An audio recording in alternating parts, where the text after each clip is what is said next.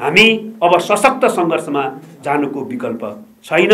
हाम्रो यसअघि भएका मूलभूत कार्यक्रमहरू माघ अठाइस गतेको सङ्घीय राजधानी काठमाडौँमा आयोजना गरिने विरोध प्रचण्ड सभाको कार्यक्रमलाई यथावत राख्दै र हाम्रो आन्दोलन अब पनि शान्तिपूर्ण आन्दोलनको रूपमै अगाडि बढाउने हाम्रो प्रतिबद्धतालाई कायम राख्दै हामीले आज गरिएको असंवैधानिक गैर कानुनी र ज्यालितीपूर्ण रूपमा बलमिचाइ गरी संवैधानिक परिषदका पदाधिकारी र सदस्यहरूलाई शपथ गराउन काम गरियो।